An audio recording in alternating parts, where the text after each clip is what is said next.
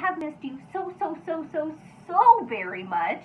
I have been so hard at work cleaning out our classroom. Everything is off the walls. All of your school books are packed up and ready to go home. And I found a fun Did You Know book. This book is called Hippos Can't Swim and Other Fun Facts. You know Mrs. Fultz loves giving you fun facts. And I bet all my animal loving friends, like Freya here, goodbye kitty, all of my friends who love animals are going to love this book and my book fell. And all my friends who love science are going to love this book. Are you ready? Oh, the author. This book is by Laura Lyn DiSiena and Hannah Eliot.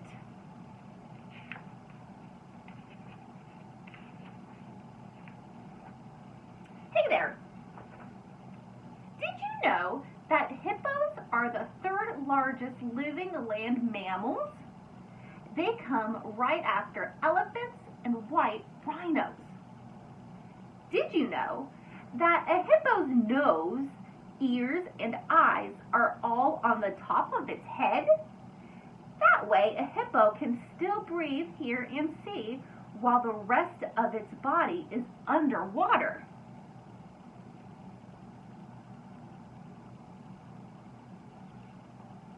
But did you know that hippos can't swim? That's right. Their bodies are too dense to float. Instead, hippos walk underwater along the riverbed or use their feet to push off in order to move. So they like going in the water, but they can't swim. They just walk.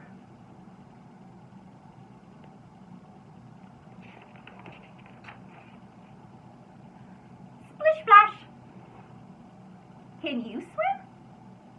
If you ever go swimming in an ocean, there's a chance you will run into a sea turtle.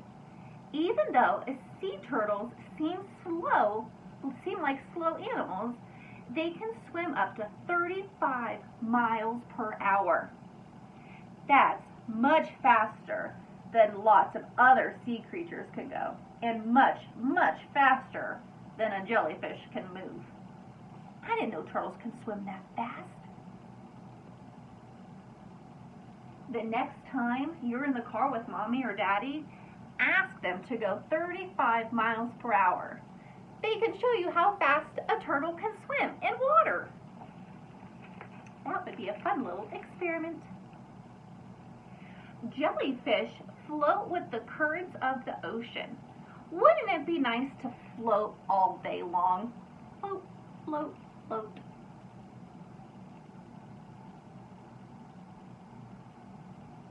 Some jellyfish can produce light in their bodies. This is called bioluminescence. Jellyfish use this quality to scare off predators since the light can startle other animals.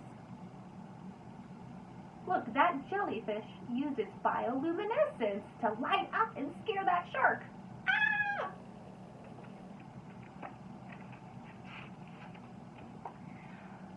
Fireflies glow too, but they use their glow to communicate with other fireflies and to attract a mate. They can control their glow so that it stays steady, pulses, or flashes every so often. There's lots of fireflies in Ohio.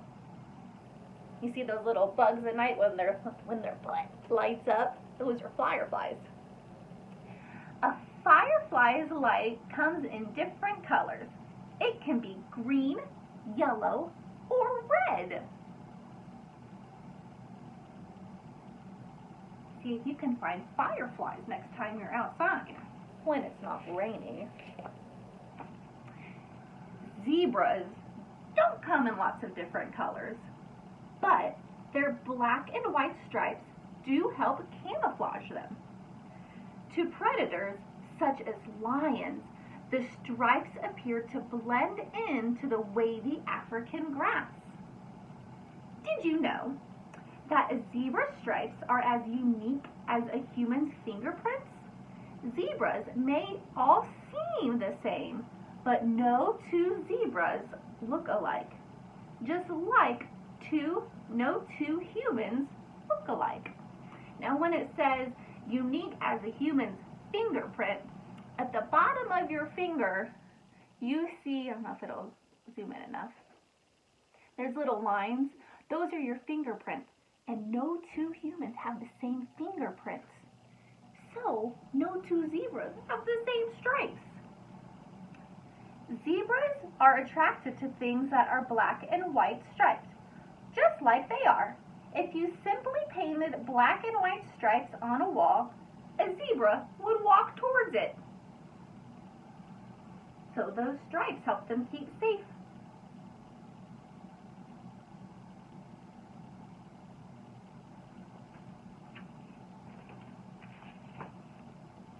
Raccoons and raccoons, on the other hand, are attracted to shiny objects like aluminum foil, pots, pans, and rustle, rustle. Look out for the furry animals in your garage cans. They like garage cans. Have you ever seen a raccoon outside going through your garage can? We sometimes call them trash cans in Ohio.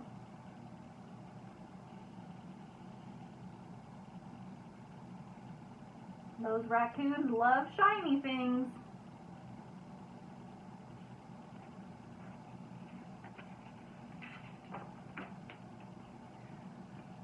Chipmunks, ah, there goes my book. Chipmunks are more likely to be fond, or to be found in woods than in your garage can. Did you know that all summer long they collect nuts, seeds, and berries by stuffing them in their cheeks. Then they drop off the food at their homes.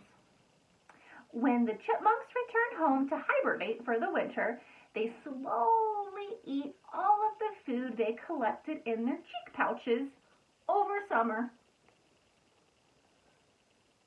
So you can find chipmunks in the woods. This page keeps falling down on me. You can find chipmunks in the woods and they collect all their food in their cheeks and go to their house and drop it all off. So when they hibernate, they have food in their home.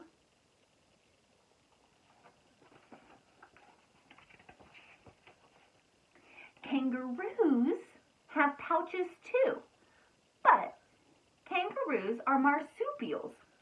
This means that their pouches are used to carry their babies As you probably know, kangaroos hop everywhere.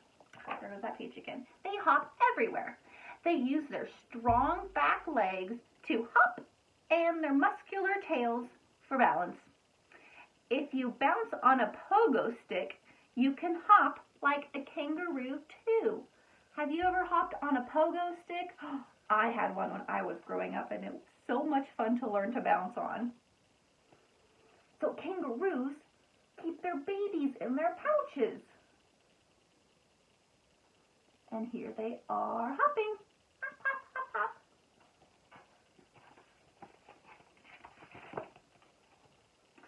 A rabbit is another animal that hops. Rabbits may hop much more slowly than kangaroos, but the longest rabbit hop ever recorded is almost 10 feet rabbits can give birth to up to 35, this page, 35 baby bunnies per year. Some types of rabbits live as families in underground burrows. It's nice and cozy down there. So a bunny can have up to 35 babies in one year? Oh my gosh. There he is making a big jump And all of their babies. Look at how tired that mommy and daddy look.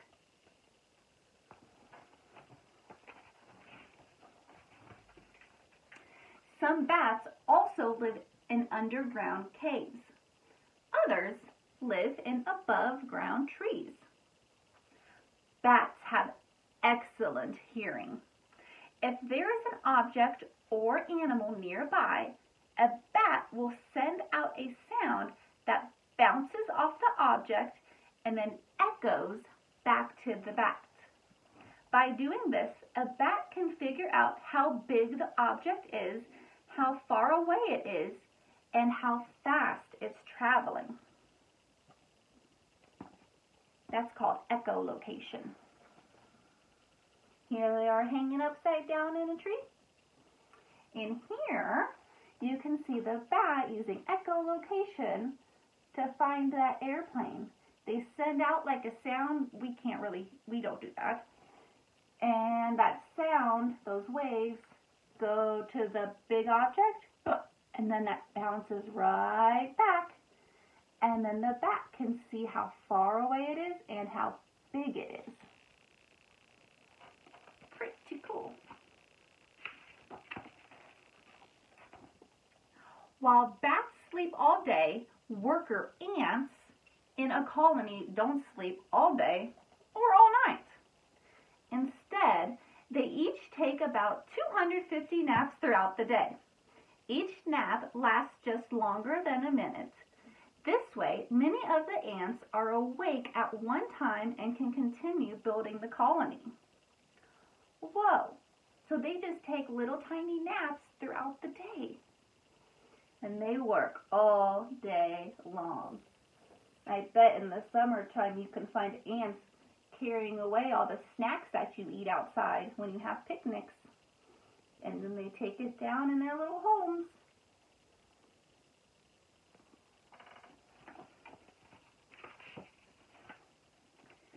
Did you know that great blue herons live in colonies as well?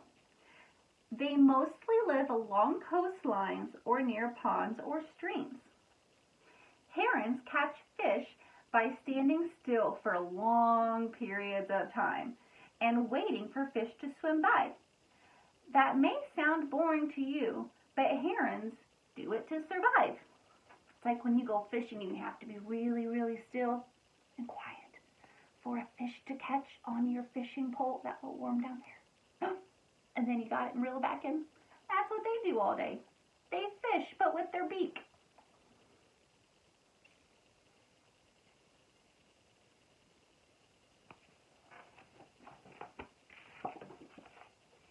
Herons are three feet to five feet tall on average, whereas hummingbirds are among the smallest of birds they are usually only about 3 inches to 5 inches tall. They're so tiny that sometimes they look like flying insects. So a heron is about 3 feet to 5 feet tall. So Mrs. Fultz is a little over 5 feet tall. So a heron's just a little bit shorter than me. And this little hummingbird, they're maybe about this little. have you ever seen a hummingbird outside? They're so little and fast. Hummingbirds can hover in midair by rapidly flapping their wings 12 to 80 times per second. So fast. And they're so little doing all that work. Look, it's so tired. And there's that big heron standing next to the little tiny bird. So they're both birds, but really big difference in their size. Blue whales are bigger than both hummingbirds and herons. They're actually the largest animals that have ever lived. Did you know that? They can grow up to a hundred feet long and weigh up to 180 tons. That is huge. Look at this big whale. And I think they have the other animals. Yep, there's the heron flying above the whale. Whoosh! There's the whale. And there's a little turtle and jellyfish. Oh, and unlike hippos, blue whales sure can swim.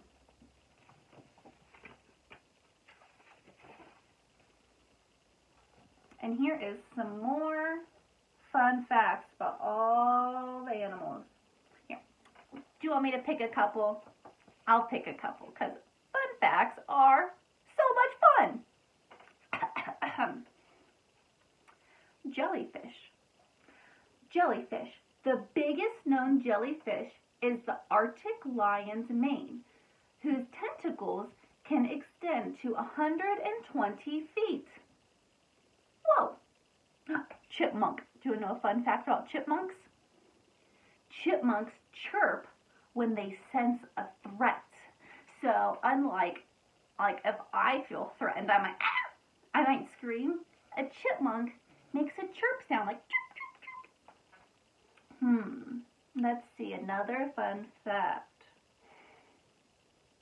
Hippopotamus.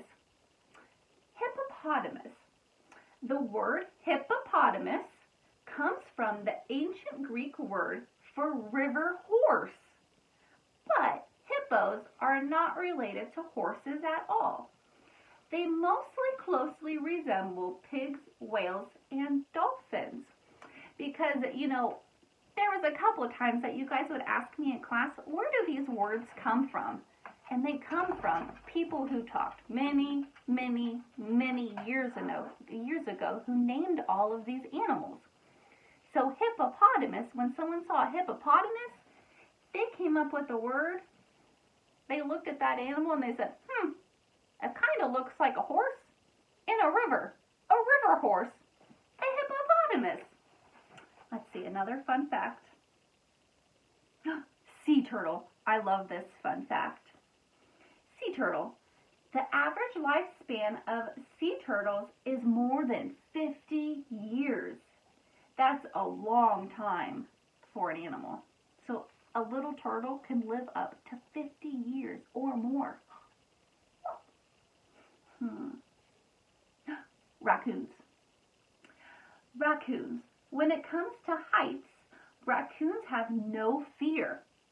They scamper up trees to get away from predators. So those raccoons, they will climb anything and they are not afraid at all. Hmm. Bats. Oh, bats, bats, bats. Are very clean animals. Like cats, they groom themselves all day to keep their fur soft and clean. So you see my my cat, she will clean herself all day long.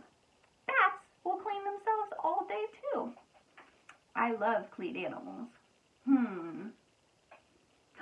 A hummingbird. Well, I didn't know this fact. Hummingbirds can fly backwards and even upside down. I'm going to have to watch for hummingbirds to see if they do that. Hmm. Blue whale. Blue whales can rest easy. They are so large that they have very few known predators. Now that's the life. Can be it for our fun facts. Have a wonderful day. I might see some of you tomorrow if you come. Is tomorrow Thursday? Yes, tomorrow's Thursday. If you come in the evening at school tomorrow and pick up your school supplies, I will be there. So hopefully I see you. All right. I miss you bunches. I'm sending a squeeze. squeeze, squeeze, squeeze. A little bit longer because I miss you, squeeze. Okay. Goodbye. See you later.